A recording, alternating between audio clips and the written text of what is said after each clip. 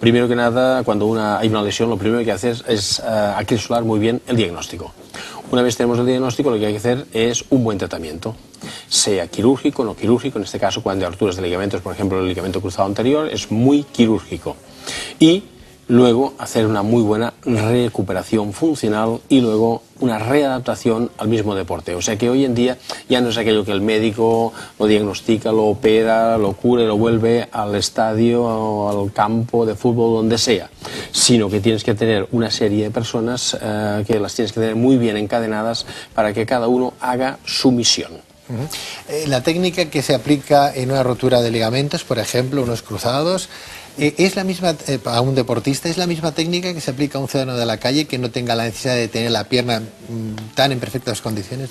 Sí, sí, las rodillas todos son iguales. Las rodillas son iguales, las rodillas necesitan la misma funcionalidad y normalmente la operación es la misma, hacerla en una persona a la calle o la hacemos en el mundo del fútbol base de Cataluña, en la Federación Catalana de Fútbol, uh -huh. o lo podemos hacer en cualquier jugador de fútbol de primerísima división, ya sea de aquí, del extranjero, de donde sea. O sea, todas necesitan estar muy bien desde el punto de vista anatómico y desde el punto de vista funcional, para que puedan ejercer su vida normal. Por consiguiente, la recuperación ya no solamente está en manos de, eh, de las, de, nunca mejor no. dicho, de las manos del cirujano en este caso, sino también del propio paciente, ¿no? Exacto.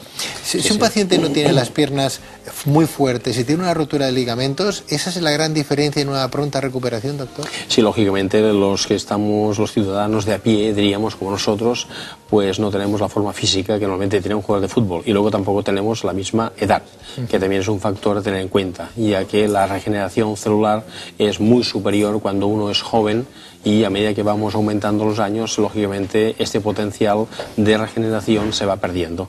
De aquí que es muy interesante, después de una cirugía, hacer una muy buena recuperación.